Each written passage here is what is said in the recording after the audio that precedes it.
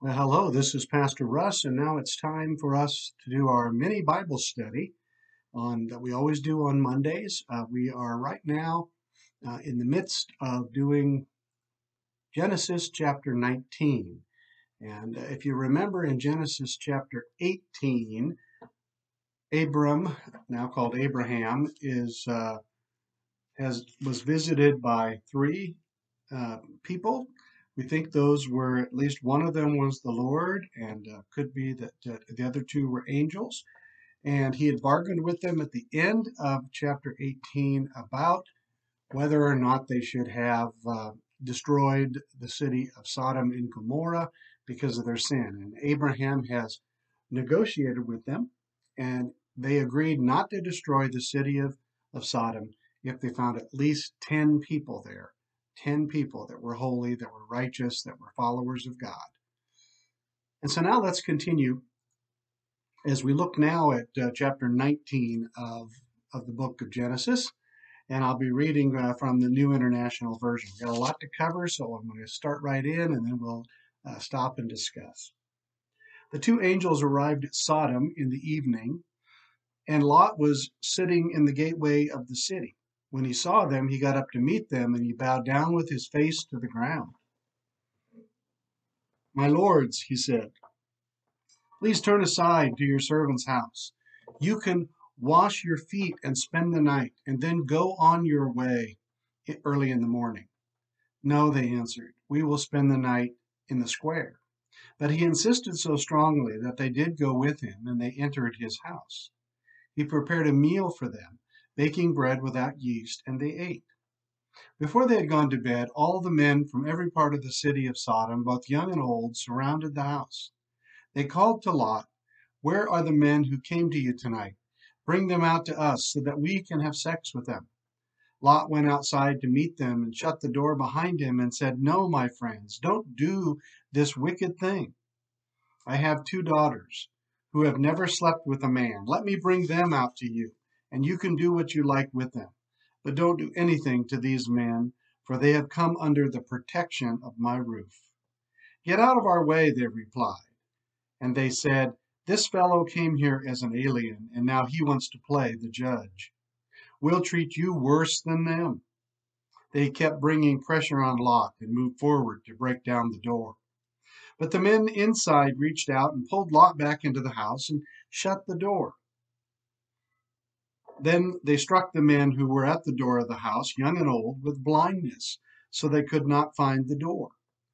The two men said to Lot, Do you have anyone else here, sons in law, sons or daughters, or anyone else in the city who belongs to you? Get them out of here, because we are going to destroy this place.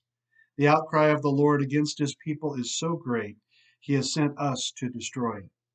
So Lot went out and spoke to his sons in law, who were pledged to marry his daughters.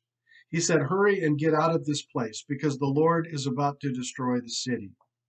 But his sons in law thought he was joking. With the coming of the dawn, the angels urged Lot, saying, Hurry, take your wife and your two daughters who are here, or you will be swept away when the city is punished.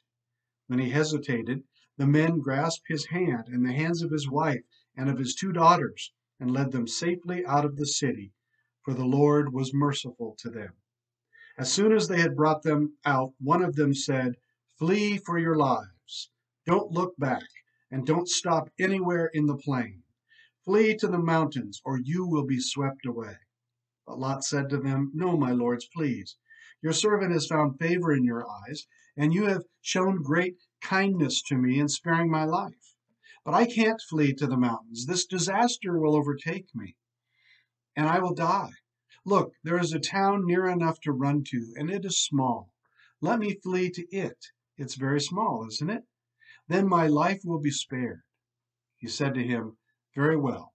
I will grant this request too. I will not overthrow the town that you speak of, but flee there quickly because I cannot do anything until you reach it.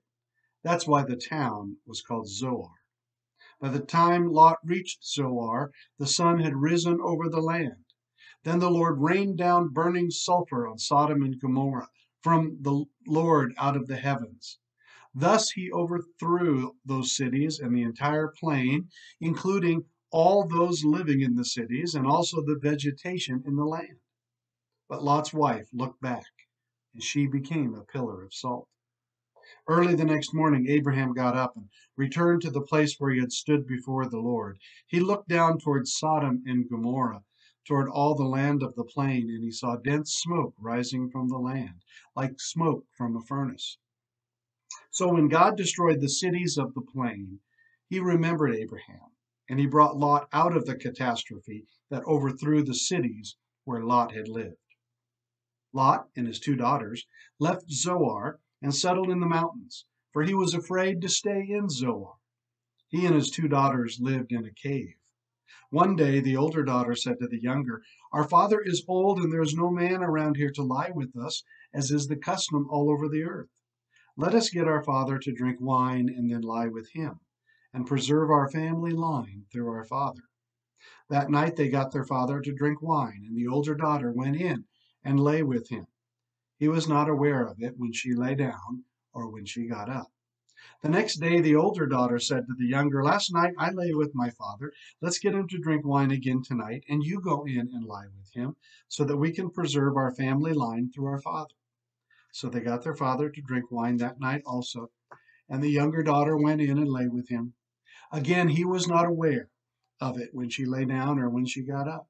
So both of Lot's daughters became pregnant by their father. The older daughter had a son, and she named him Moab.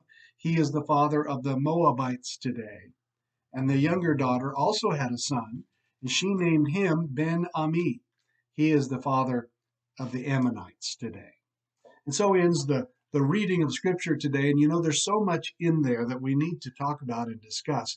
This really is a story about um, Abraham, or not Abraham, but Lot making what I call bad choices and bad decisions and compromised positions.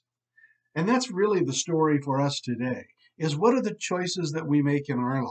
And do we compromise our positions? For example, uh, at the very beginning of the uh, scripture for today, in chapter 19, we see that Lot is sitting at the gate. That means he's a respected civic leader. That's usually where the judges uh, sat to make judgments for the people. And so here is Lot sitting there, and he knows the wickedness of all the people in the town, and that's why he wants to take these two strangers and he wants to take them right away into his house. He wants them to leave early in the morning so that they don't get accosted by the men of the city.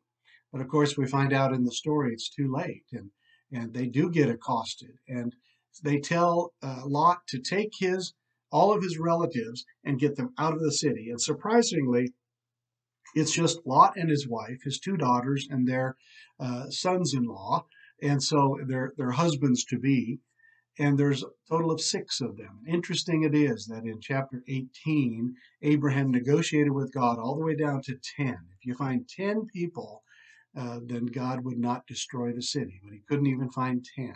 There were only six, and he, he allowed them to escape. And so they left, and uh, we have the story of Lot's wife looking back. Uh, and of course, this is disobedience to God's direct order do not look back. You know, sometimes in our hearts, we want to do things and it's hard for us to be obedient to God. And uh, here it shows that she would rather choose, you know, life with, uh, you know, a, a disobedience rather than life with, you know, obedience to God. And so she felt the wrath, the judgment of God. And so instead she, you know, was uh, destroyed, turned into a pillar of salt.